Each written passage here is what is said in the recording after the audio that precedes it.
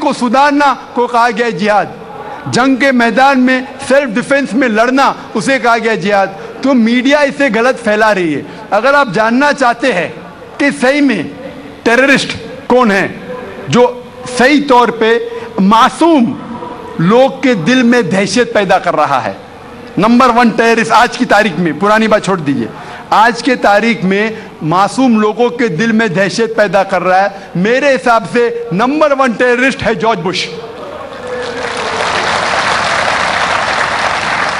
आप जानते हैं कि सबसे ताकतवर मुल्क यूएसए, सबसे कमज़ोर मुल्क अफ़गानिस्तान पे बॉम्ब फेंक रहा है।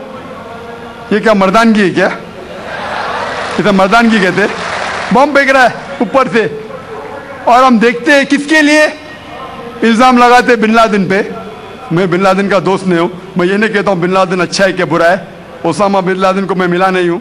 मैं जानता भी नहीं हूँ। तो ये मैं नहीं कहता हूँ कि ओसामा बिन लादेन टेररिस्ट है क्या नहीं।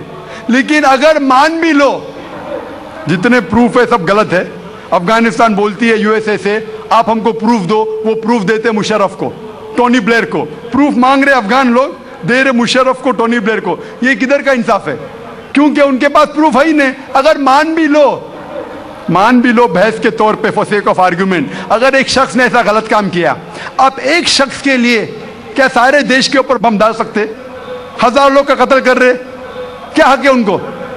फिर जाते इराक के पास, हज़ार लोग को मारते। मैं ये नहीं कहता सद्दाम हुसैन अच्छा इंसान है।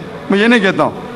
मैं जानता हूँ काफ़ी गलतियाँ की लेकिन जो इराकी लोग सद्दाम हुसैन के टाइम पे जो उनको तकलीफ़ हो रही थी, अभी उससे कई ज़्यादा हो रही है, कई ज़्यादा।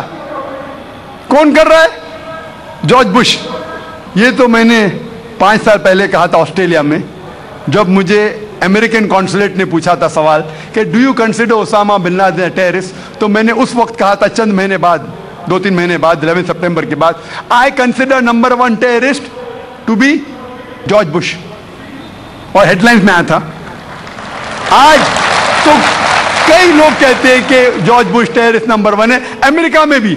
जब एक सर्वे हुआ था, एक प्राइवेट ऑर्गेनाइजेशन ने सर्वे की थी यूएसए में, जानने के लिए तीन नाम दिए उनने। कौन सबसे बड़ा टेररिस्ट है? Osama bin Laden, Saddam Hussein या जॉर्ज बुश? नंबर वन हमेशा जॉर्ज बुश है। गैर मुस्लिम भी कहते हैं सबसे नंबर वन टेररिस्ट है जॉर्ज बुश। सबसे लोएस्ट परसेंटेज उसको मिला 73 परसेंट और कुछ लोग ने 78 परसेंट लोग ने कहा कि terrorist number one George Bush अभी उन्हें पता लग रहा है, पाँच साल बाद, छह साल बाद। मैं तो पहले कहा था। तो आप मुझसे पूछेंगे कि ये मीडिया ऐसे लोग को लेके उछाल रही है और मीडिया बदनाम कर रही, जो हालात हो रहे हैं, कोई भी मजहबी, चाहे टेंपल हो, चाहे चर्च हो, चाहे मस्जिद हो, कुरान में लिखा है, उसको डिस्ट्रॉय नहीं करना चाहिए। कोई भी।